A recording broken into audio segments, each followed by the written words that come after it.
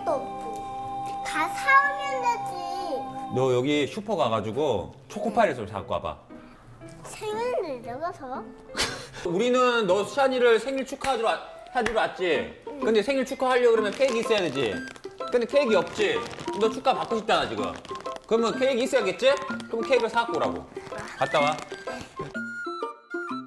내가 가야 돼? 아빠가 가야지 이거 받아라 축하해 온 거야?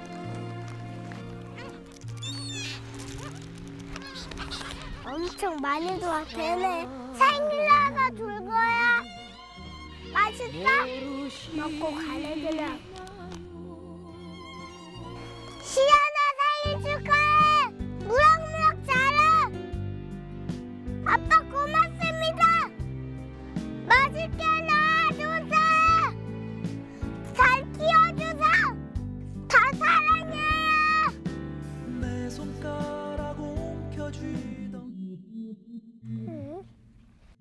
어? 저기 뭐지? 어? 외계인아. 외계인아 안녕? 안녕.